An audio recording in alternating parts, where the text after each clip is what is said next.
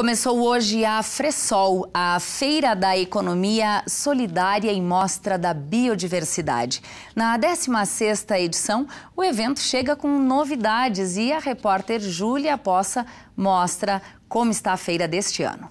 Pois é, a chuva não atrapalhou e o dia começou bem cedo para todo mundo que está aqui no CTG Lau Miranda em mais uma edição da Fresol. É que eles chegaram bem cedo para já começar a montar os estandes com todos os produtos da feira. Tem artesanato, alimento orgânico, arte sustentável, produto da agricultura familiar, enfim, tudo o que vai ser vendido aqui tem essa relação com a sustentabilidade e, como o próprio nome diz, a economia solidária.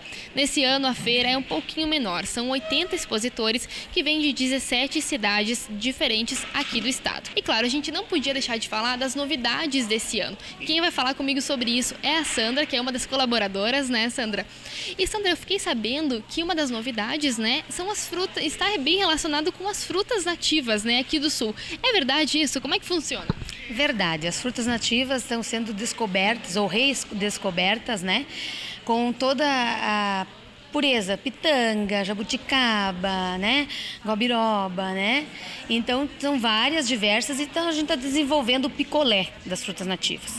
Mas a feira, claro, traz essa novidade, mas não só isso, né? Nós temos diversos expositores, tem casca, amaral, carazinho, né? Agricultura familiar e agroindústria e alimentação. E também o artesanato, que o artesanato, por exemplo, casca vem com artesanato. É lindíssimos, né? Um ótimo presente agora para o Natal, né? E você pode ver que a feira todos os anos é um sucesso e esse ano não vai ser diferente. Uhum, perfeito.